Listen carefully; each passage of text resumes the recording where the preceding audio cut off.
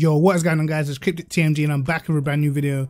And today we're going to be talking about what is the correct car for you to choose on ACC that's going to get the best out of how you like to drive and cars that suit your driving style. So anyway guys, let's get stuck into the video.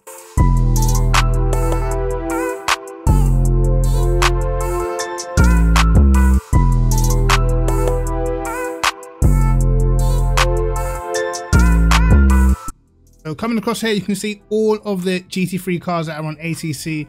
And what I probably would like to say first is I do think probably around about half, if not more, most of these cars can just be discarded. A lot of them are older models, which are just not, you know, not really viable in 2023. Most of them are not going to get you anywhere near the front. Now, if you're just playing the game for fun, then you can take any car you want because if you're just playing for fun, you're not competitive at all you just you don't get a lot of time to play the game. You jump on every now and again, then you know you can just jump on the game, have a little bit of fun, take the jag if you want a car that sounds cool and stuff like that. But I'm primarily talking to the people that are getting into ACC and are interested in doing leagues and you know improving and getting better and stuff like that. So this video is more you know pushed towards those sort of people. And I'm sure all the guys who play ACC already have got tons of experience. They know what cars to pick. But for me, I'm going to go ahead and say they're probably probably is around about five or six cars maximum at the moment that I would say are worth um, your time. Um, obviously, we have had the new DLC cars, the Ferrari 296, the new Porsche 992, the Lamborghini Evo 2, and we've had a revised Mercedes AMG. By far, those four cars are definitely um, the best cars on the grid at the moment. Uh, there's no there's no sugarcoating that, no doubt in that. Um, again, I think the other cars that you could probably bring into the mix, maybe the Aston V8, um, still a very nice car to drive, still very easy to drive. Maybe also the BMW and the McLaren, I believe, is is is decent.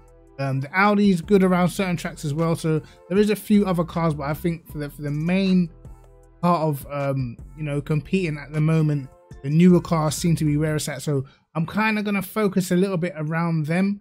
Um, now, depending on your driving style and how you like to drive, how you feel comfortable, I, I would say this is the first time when you've got like cars that have like rear mid engine where they really are a lot more stable than what we've had in the past. Because, for instance, the Lambo Evo 2, um, compared to its predecessor, it's definitely not as snappy, definitely a lot more pleasant to drive. There is a few nuances still that um, I, I kind of find between that and maybe like the Ferrari. The Ferrari to me doesn't even drive like a GTE. The Ferrari drive, sorry, like a GT3. It drives like a GTE. A lot of grip. Um, it's the gears are slightly longer as well, so around certain tracks it actually works out better for you. Um, doesn't make it as snappy on the rear because the first gear is that little bit longer, whereas with the with the Lambo sometimes you got a short shift and stuff like that. But um, if you guys are someone who likes a car that's a little more tail happy, you like to have a little bit more control over the car, I would definitely probably look towards maybe jumping in something like the Porsche. Um, definitely still has a, a, very nice front end, nice through the corners, but it does take a little bit of driving still. It is though way way easier to drive than its predecessor. Um, I couldn't drive the the the 991 at all. Well, I could drive it, but I just couldn't drive it fast. Now the 992 a lot easier to drive fast. Um, a lot more stable. The balance just seems to be a lot better um, in the 992. And if I was if I was jumping on this game tomorrow and I could only choose from these four cars, the car that I would probably pick, um, being a newbie, if I'm honest, would probably be the Ferrari because I believe it is the easiest to drive. Doesn't take that much to set up. Um, but if you if you really want to challenge yourself, I, I would I would lean towards the Porsche. Um, again, what I will say is like, for instance, like the AMG, the, the, thing with the AMG is a very good car, but it's not the easiest car to set up. And that's probably been the problem with the AMG from the beginning. It's always been decent car. Now it's a very good car, but it's just never been that easy to set up to really get the lap time out of. Um, and that's why a lot of the time you only see like a, a handful of people that are really able to maximize the AMG. Even to this day, even though it's a, much better car now, there's only a handful of people that I can think of on ACC that always get the maximum out of the AMG. Um, as I said, but right now, I would say that the Ferrari is definitely the most user friendly in terms of new people coming towards the game. Um, as I said, doesn't take a lot to learn. Um, me personally, my car that I like is definitely the Lamborghini Evo because I just love Lamborghinis. The first car I drove, again, it, it does take a little bit more driving, but I feel like the satisfaction with the Lambo is definitely at just a little higher than some of the other cars. For me personally, um, the Ferrari I jumped in, it was it was nothing. It was nothing to to do a decent lap time. It didn't feel like anything. It was pretty much kind of easy, to be honest. And I guess if you're new to a game, or if you if you want to you know just improve your pace, maybe something easy is the best choice because um you don't you don't have to worry about the back end stepping out. You don't have to worry so much about oh I really need to nail my my TC settings and stuff like that. But that is also another thing. Um, traction control settings for the Lamborghini. Uh, you know you definitely have to mess around a little bit because I found sometimes in the slow corners tend to get quite a lot of wheel spin. It makes it a little oversteering in the, in the slow corners with the Lamborghini, and that can prove difficult if you're not concentrating all the time, especially around certain circuits. Um, but again, it's been improved. It actually got a it actually got a buff the other day, so the Lamborghini's improved even more so. So it's definitely one of the, the fastest cars on the game at the moment, but it does take a little bit of driving compared to the Ferrari. Now, when you're going into races that are longer, you have to start, you know, you have to start thinking about tire wear and all these other sort of things that come into come into play. Um, it's not just about which cars are fastest, You've got which cars are the most comfortable to drive over a longer period of time, which is why sometimes making the decision to pick the right car can be difficult. If you're someone that has, um, you know, a lead foot and you slam the foot on the brakes, you slam the foot on the accelerator, you, you know, you don't generally um, have a progressive style when you accelerate and stuff like that. You're going to be a little bit more harsh on the tires and stuff like that. So you want to sort of probably, I would probably go with the Ferrari if that was the case because I feel like the Ferrari is a little bit kinder to tires just because of how easy it is to drive. Um, I feel like if you have that sort of style in a Lambo, eventually over a stint, you're going to end up paying for it a little bit. Um, that's just my personal opinion. What I would do if I was new, definitely try the Ferrari. The only the, the only things I'll say about the Ferrari, maybe not so good over the curbs as some of the other cars, and that was probably the weakness in the 488. Maybe they've sort of just transferred all the weaknesses from the old Ferrari into the new one but just gave it a little bit, a little bit more, made it a little bit easier to drive. So it kind of covers it up a little bit, but I, do still feel like it has a few weaknesses. It still has the poor acceleration. Getting a Ferrari off the line compared to a Porsche is like you've pretty much just lost the place. If you qualify a pole when you've got a, a Porsche, AMG, even a Lambo behind you, you've lost the place off the start. This just that's just what it is. All right, it's pretty much just like the Aston V8. It's terrible at starts. In fact, I think it's worse.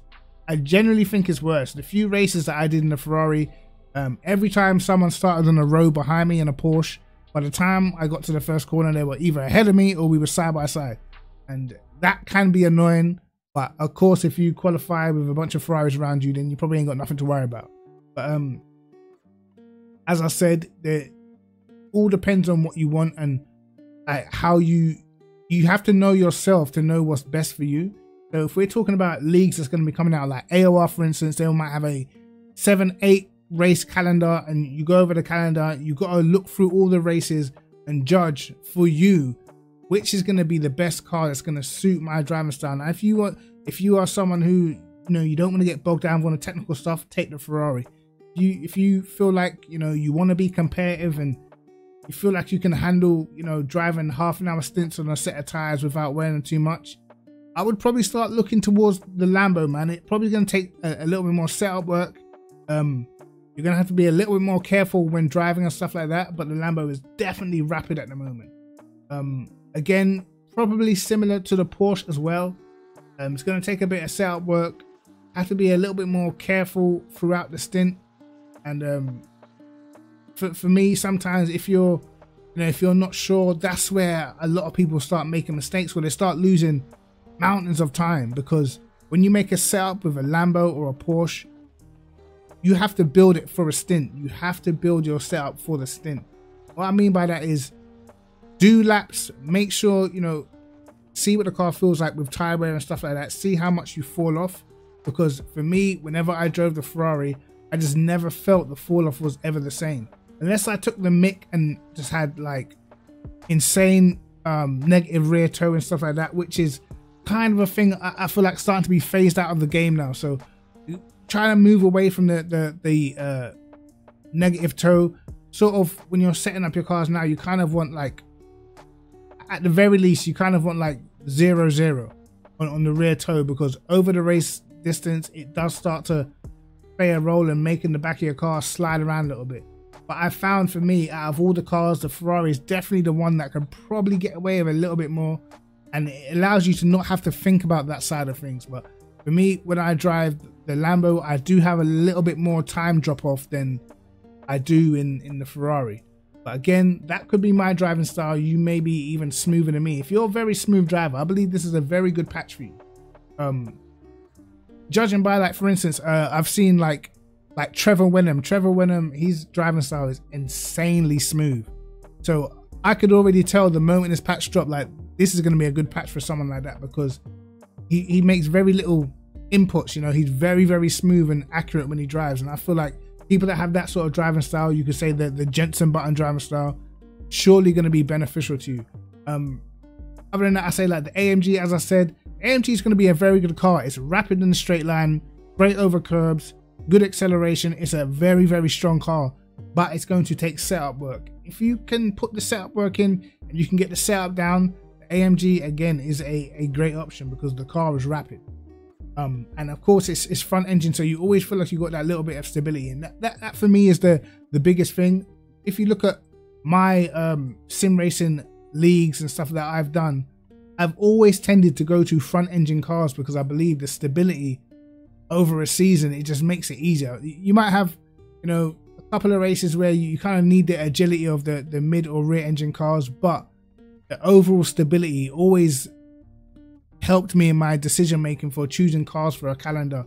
But of course, now at the moment, apart from the AMG, there isn't really any other cars that can really challenge. I would say if you were going to pick another car, I would probably go with the Aston because I still think the Aston is um, pretty good. Maybe not as fast, but it's stable, it's reliable. Um, you know what you're gonna get. It's easy to drive, and again, it's probably kinder on its tires as well. And I still find that Aston is pretty nice and agile in the wet. So again, um, thinking about all these different things, if I was to rank sort of the one to five of cars to pick in what order, um, I would probably say right now if you're new or, or you know you just for for comfortability's sake, I would say probably the Ferrari number one. I think the Ferrari is probably the number one pick because of how easy it is to drive. Number two right now, I would probably say the Lambo because I think the Lambo is extremely fast, and if you can get it down, the Lambo is going to be flying. Um, number three, I would say the Porsche again because it's rapid. Um, probably slightly more tricky to drive than the Lambo as well, but they are very fast cars. Number four, I'm going to go for the AMG. Good choice, but hard to set up. In fact, no.